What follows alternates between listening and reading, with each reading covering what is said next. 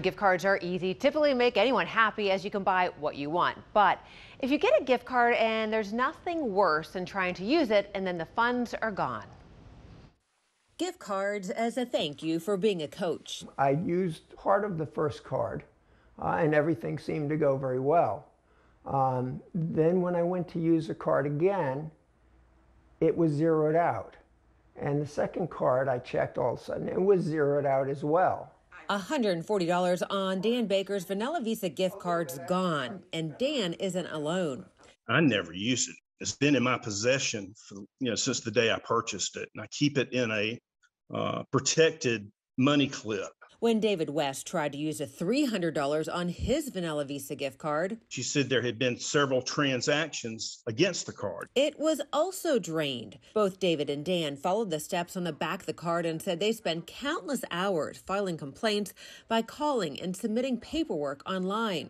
No response to the emails. Dan even sent his complaint in certified mail with verification the company received it. At that point, there was really not much else I could do. There are more than 1,300 complaints in the last 12 months filed with the Better Business Bureau against the parent company of Vanilla Visa prepaid cards, InComm Payments.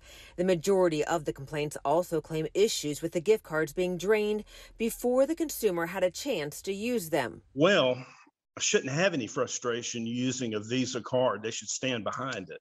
I reached out to InComm Payments, the company behind Vanilla Visa gift cards, and a representative said they take concerns from cardholders very seriously and that fraud prevention is a top priority, writing, we do not disclose the tactics that fraudsters use in order to prevent copycat behavior. However, we can share that our dedicated fraud teams are constantly monitoring for new and emerging threats. We also review cases and consult with our merchant partners to fine tune fraud prevention strategies. The good news for David and Dan after our involvement, both heard from the company saying it is sending replacement cards with the money that was lost. It's good news for them. So to protect, protect yourself from buying a gift card that is already drained, don't grab the front ones on the rack. Try and get the ones from the back and check to see if they've been tampered with. When checking out, watch and make sure the card is not switched and get a receipt to show the card is activated. Once you have a gift card, check the balance often and report any fraud right away. And I always try and say when you get that gift card, use it right away. yeah. Don't let it sit around because you never know what can happen. I know.